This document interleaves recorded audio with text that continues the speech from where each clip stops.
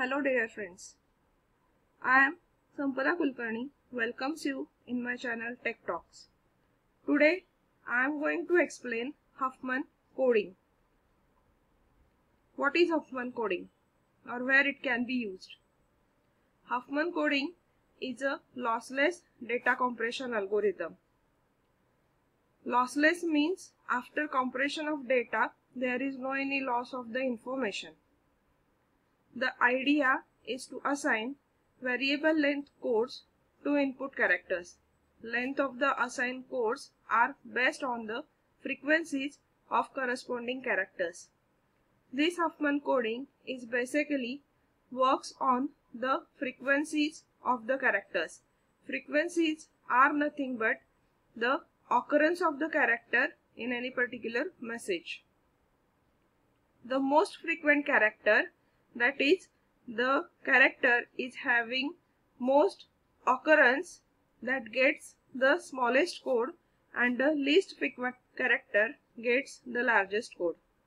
What do you mean by frequency? How are we going to design the Huffman tree and how are we going to find out the Huffman code for every character that I am going to explain in this lecture.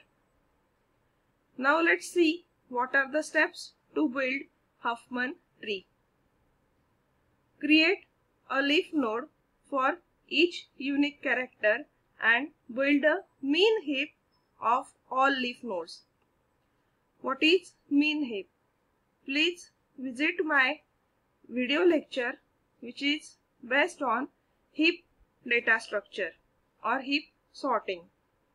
So it was our first step to create a leaf node for each unique character and build a min heap for all leaf nodes. Step 2 is to extract two nodes with the minimum frequency from the min heap. Next step is to create a new internal node with frequency equal to the sum of the two nodes frequencies. Step 3.1 substep is there. Make the first extracted node as its left child and the other extracted node as its right child. Here we are building a Huffman tree for the given set of characters with respect to their frequencies. That's why here we are making a tree with the addition of two internal nodes by following a rule that there should be in the sequence of minimum frequencies and we need to perform addition on that uh, minimum frequencies of the two nodes for from the two nodes make the first extracted node as its left child and the other extracted node as its right child. I am going to explain all these things in detail with the help of example in upcoming slides.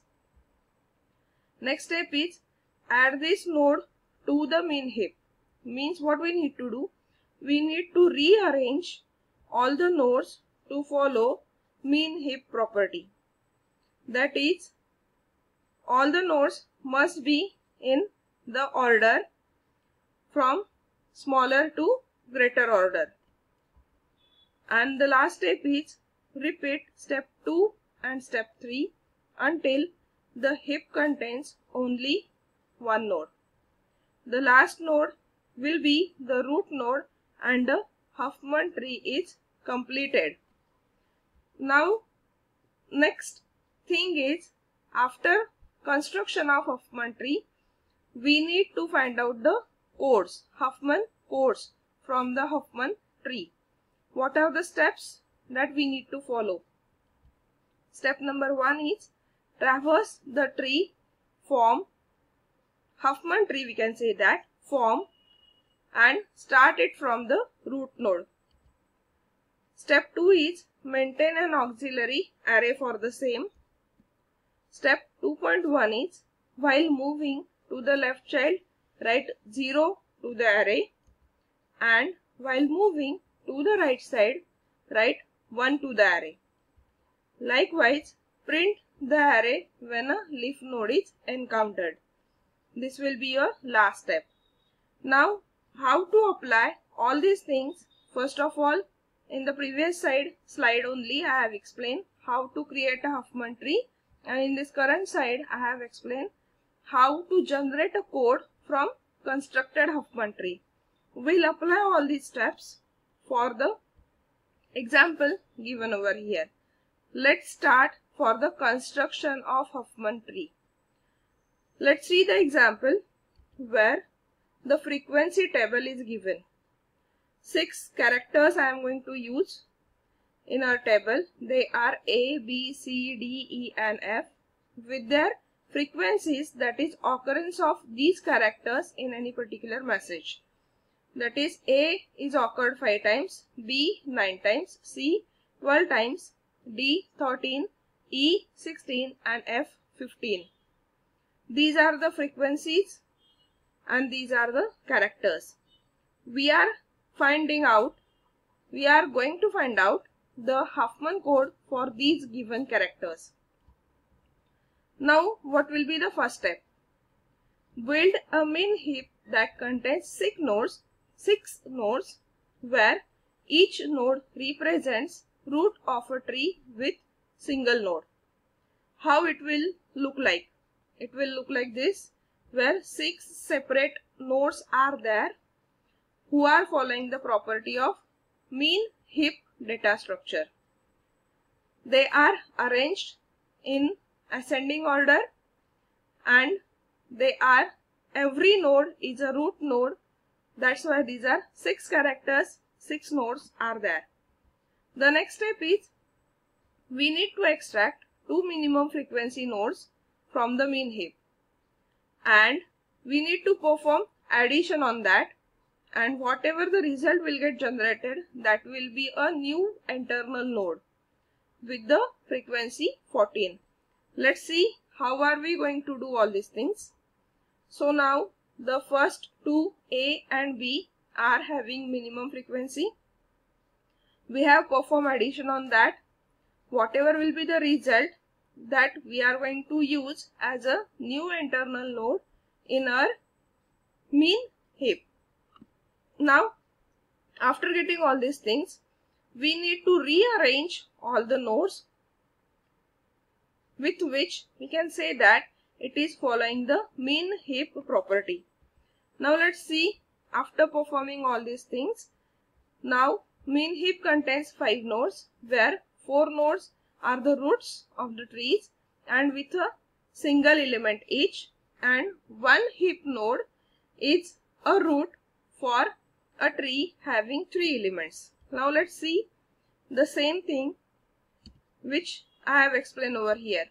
Five nodes are there. One, two, three, four, five from which four nodes are root of a tree that is C, D, E and F are the nodes who are root of the tree and a fifth node from that five nodes a fifth node or the last one node is a root node of a tree with three elements. That is 14 is a root node again having two children a and b. After doing this we are going to rearrange it in the ascending order.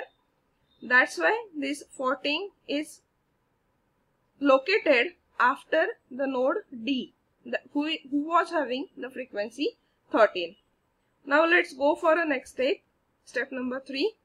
Again the same thing. Extract two minimum frequency nodes from the heap. Add new internal node with a frequency 25. Let's see. This 12 and 13 are going to become left child and a right child for an internal node 25. Next step, they are not in the order. That's why we are going to rearrange them to form or to follow the min heap property. The next step is the same thing over here. Four nodes will be there from which two are the nodes which are root nodes E and F. Remaining two are the internal nodes.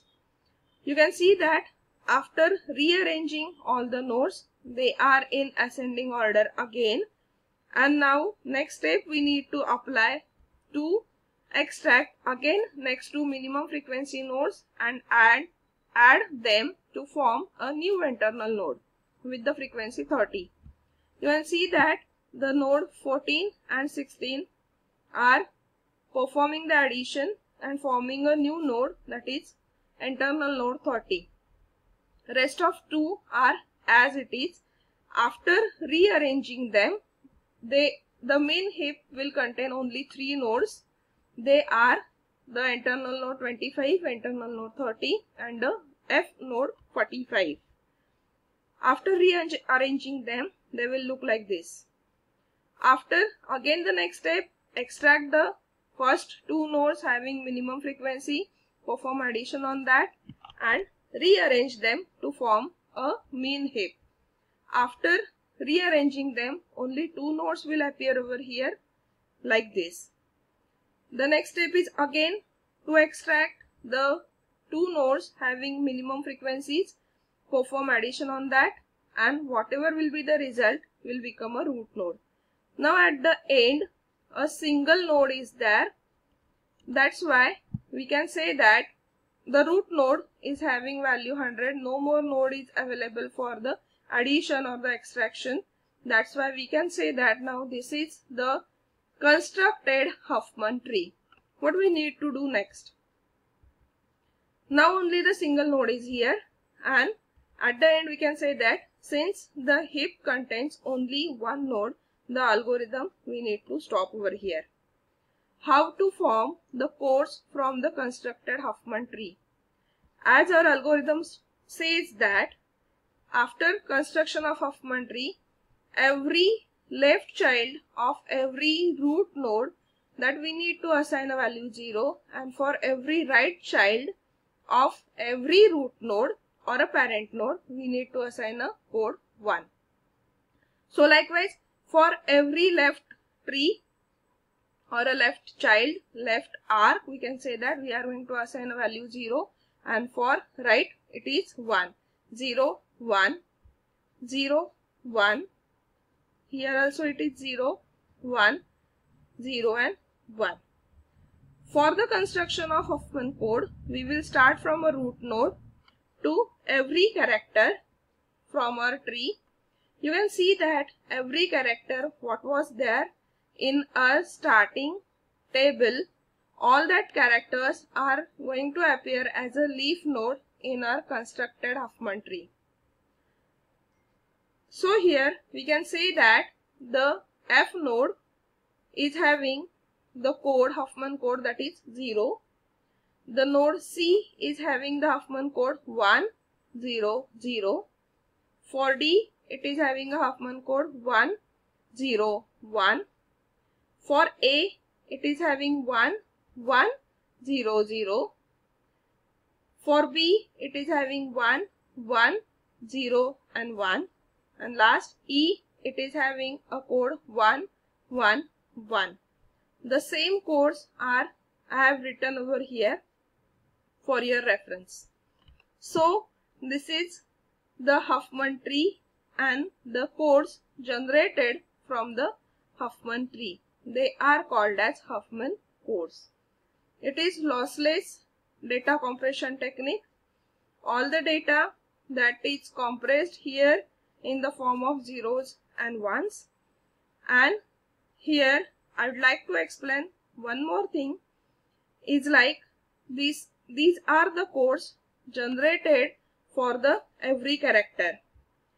The character F was having the most frequency is having the minimum code and the A and B are having least frequencies from the first slide we can say that they are having the higher code or having the length which is greater than that of the all the remaining codes.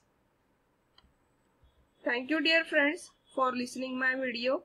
If you like the contents and the video, please like the video and subscribe the channel. Thank you.